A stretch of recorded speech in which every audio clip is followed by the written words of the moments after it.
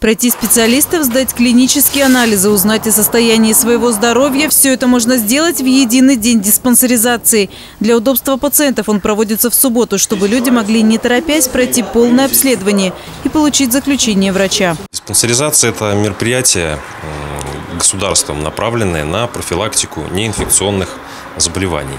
Э, в первую очередь э, тех заболеваний, которые приводят к смертности населения. Это на первом месте у нас стоит, естественно, смертность от болезней системы кровообращения. Ну, также это онкология, болезни легких, сахарный диабет.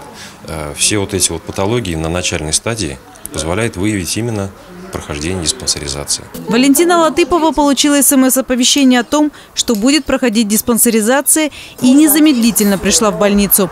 За полтора часа Валентина Анатольевна прошла всех специалистов без суеты и очередей. Я пришла в назначенное время, в назначенный день. И все прошло хорошо. Спасибо большое врачам. Все прошло очень хорошо. Очередей нет, народу мало.